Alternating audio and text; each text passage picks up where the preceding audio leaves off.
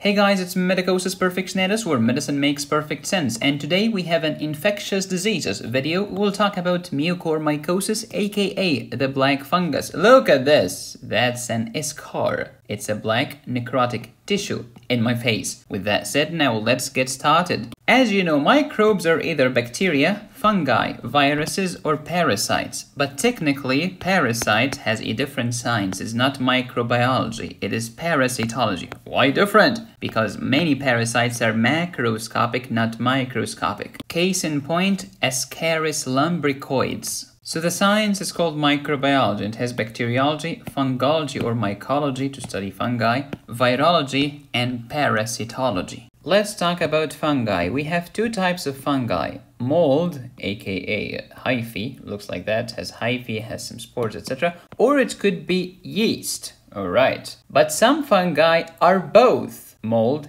and yeast. We call them dimorphic. Morpho means shape and di means two. I have two shapes at once. If the weather is cold, I will be mold, but if the weather is beast, I will be yeast. So we call it mold in the cold, yeast in the beast. So I can imagine that all fungi were talking to the dimorphic fungi, and all of the fungi said, uh, would you like to be a hyphae or a yeast? Uh, the dimorphic answered, yes. How about both? We're mold in the cold, we're yeast in the beast. Can you give me an example of these dimorphic fungi? Sure, we have histoplasmosis, blastomycosis, coccidioidomycosis, and paracoccidioidomycosis, and these were discussed in my playlist called Pulmonology in a great video known as Lung Infections. And this is a good shot summarizing histo, blasto, and coccidioide. These three are dimorphic fungi. Today's topic is mucormycosis, the black fungus. Why do we call it mucor? That's the name of the disease. Why myc? That's the fungus. Myco means fungus. And osis means condition. That's why the name of my channel is Medicosis Perfectionalis. It's a condition of perfect medicine. Alright, mucor or mucor and rhizopus. Let's describe the fungus. Is it dimorphic? No, it's not dimorphic. It's only mold. Oh, so you mean it's only hyphae? That's right. Describe the hyphae. Wide angled or obtuse angled. Okay, and they are broad. Non-septate, what the flip is that? A septa is like this. So here's the part of the hyphae. This is septated. Oh, it has septa in it. Septa is the plural of septum. But these do not have septa. We call them non-septate and they are irregular haphazard. How does this fungus infect me? Alright, let's suppose that we're talking about Adam, and Adam is immunocompromised. Adam will inhale one of these spores of the fungus, mucor, or rhizopus. Now the spores enter through my nose, okay? And now they are in my nose.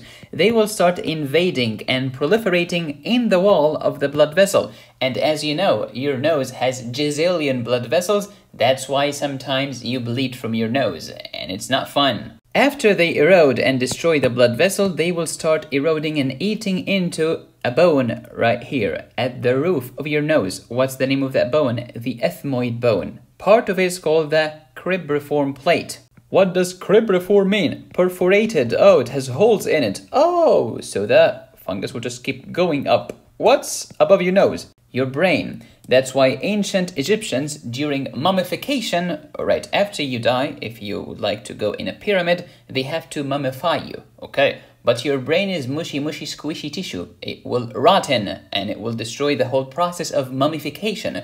Therefore, they used to introduce a probe through your nose and into your brain, and like a straw, they will suck your brain out of your body so that you do not rot and I hereby declare the mummification process a success. You want another example? Okay, let's say that someone punched me in the nose and it was a very bad, bad punch. The nose is part of the face, of course, and this is called the dangerous triangle of the face. Why? Because this is related to the brain and it's also related to the cavernous sinus. Behind there's a cavernous sinus. If the trauma and therefore inflammation and infection went to the cavernous sinus, this can lead to a cavernous sinus thrombosis, which is ugly. You might think, oh, I'll just give the patient some antibiotics and everything is going to be hunky-dory. Shut up. It's a terrible condition. So let me tell you the story again. Adam is immunocompromised. Adam inhaled the spores. The fungus started eroding and destroying the blood vessel wall. Number four, the fungus has passed from the nose to the brain. How? Through the cribriform plate of the ethmoid bone. Number five, the fungus will make, cause a brain abscess usually in the frontal lobe. Why frontal? because this is the part of the brain that is above the nose, doofus. The abscess could be in the frontal lobe of the brain, and of course, it could be abscess in the nose. Right, if you have abscess in the nose and abscess in the frontal lobe of the brain, what would you get? Oh, headache and facial pain. No kidding. Anything that happens inside your brain, it will cause headache. Why is that? Because your brain, according to the Monro-Kellie hypothesis, is a box that is 100% packed and stacked. There is not a single empty inch in your brain. Everything is packed to the fullest. Therefore, if an abscess grows, it will start pushing on the surrounding areas because there is no space, and this will raise the intracranial pressure. And when the intracranial pressure rises, it will press on other structures, causing headache. Next, this infection can spread into the cavernous sinus, and this is really, really terrible because the cavernous sinus has many cranial nerves inside of it, and that's why the next point is cranial nerve involvement. Alright, in the face, what could I get? I could get this. What is that? Necrotic black tissue in the face. What do you call it? Eschar. Where can the eschar be seen? It could be seen in the face, we call it facial, or it could be seen in the palate. Oh, what's the palate? It's the roof of the mouth, between the mouth cavity and the nasal cavity. Oh, it's here. Oh, of course. So you not just you look at the patient, you ask the patient, hey, hey, Adam, open your mouth and look at the roof. Oh, it's necrotic. That's an eschar on the palate. So Adam was immunocompromised. But why? What suppressed my immunity? It could be diabetic ketoacidosis, happens with type 1 diabetes, uncontrolled diabetes mellitus. It could be neutropenia, which is decreased neutrophils in my blood. And leukemia can lead to neutropenia. Why? Because leukemia is usually increased, let's say, lymphocytes. So your bone marrow is busy making gazillion lymphocytes like crazy. Okay, what's to happen? You will make lots of lymphocytes. Oh, but you will take resources from neutrophils. Oh, because I'm busy making lymphocytes. Or I'm busy making monocytes or basophils or eosinophils, so of course neutropenia will occur. If my white blood cells are toast, my army is toast. I cannot fight foreign invaders such as mucormycosis, the black fungus. Or I could be suffering from immunodeficiency, and this could be inherited. I was born with it, such as Bruton agammaglobulinemia, aka X-linked agammaglobulinemia, SCID, which is severe combined immunodeficiency, or Wiskott-Aldrich syndrome. Or it could be acquired immunodeficiency, which can be physiological, such as pregnancy. Mommy is normally immunosuppressed. Why? To protect the baby, because the baby is foreign to her body. If mommy's immunity was robust during pregnancy, she will attack the baby, immunologically speaking, and the baby might die. Pathological acquired immunodeficiency include acquired immunodeficiency syndrome. Or it could be um, taking immunosuppressant medications such as what? Corticosteroids, methotrexate, rituximab, or cyclosporin. What's an eschar? Black necrotic tissue. How do you treat an eschar? Eschar-otomy. Oh, it's a surgical procedure. You remove the eschar, you cut it out, you cut the necrotic tissue out. Be careful, there's a huge difference between eschar and scar. Scar is just fibrosis, oh, because when your body's trying to heal, it can heal beautifully, leaving no scar, or it can heal with fibrosis and leave a scar. Which one of these two conditions requires surgery right now? Otherwise, the patient can die. Eschar, of course. How about scar? No, it does not need surgery. Only cosmetically if you want it. But you can live with a scar, it's not gonna kill you.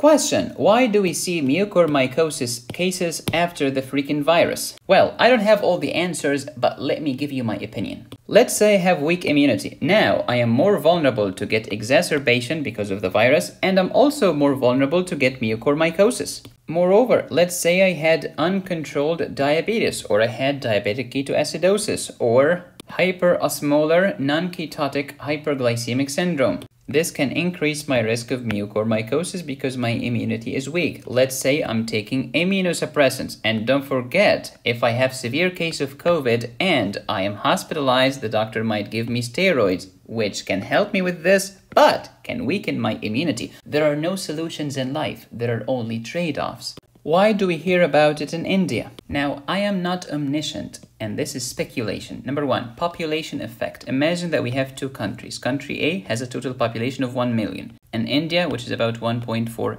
billion. And let's assume that mucormycosis will affect 0.01% of the population. Country A, you will have 100 cases. No one will notice. Even doctors will not notice, of course, unless they are reading the annual reports. But in India, you'll get 140,000 cases of mucormycosis. Second, many patients don't know that they are diabetic. And because India has a bigger population, you'll find more cases. Third, fungi in general love warm, humid weather. Mucormycosis aside, let's say that someone developed a fungal infection, tinea for example. Which part of their body is most likely to be vulnerable? You can get the armpit, you can get the groin area, under the female breast, the intergluteal cleft, especially if I'm morbidly obese, because fungus loves warm, humid weather. How can we treat mucormycosis surgically and medically? Surgically, surgical debridement known as escharotomy. Medical treatment, and antifungal medications such as amphotericin B and isavuconazole, which is an antifungal.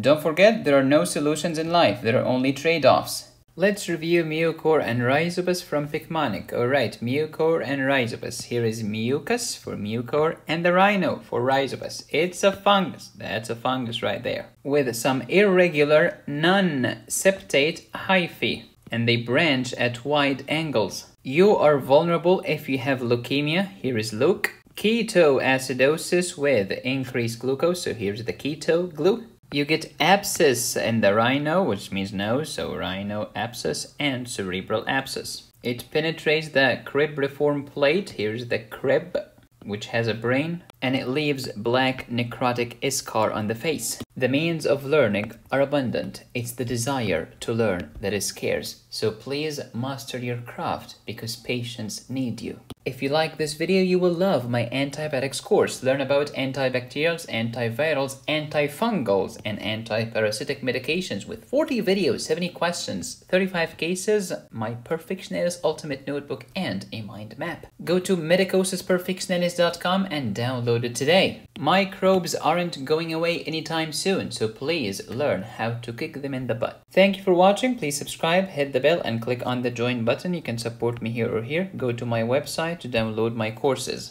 Go to Picmonic for animated medical mnemonics. Thank you for watching. As always, be safe, stay happy, study hard. This is Medicosis Perfectionalis, where medicine makes perfect sense.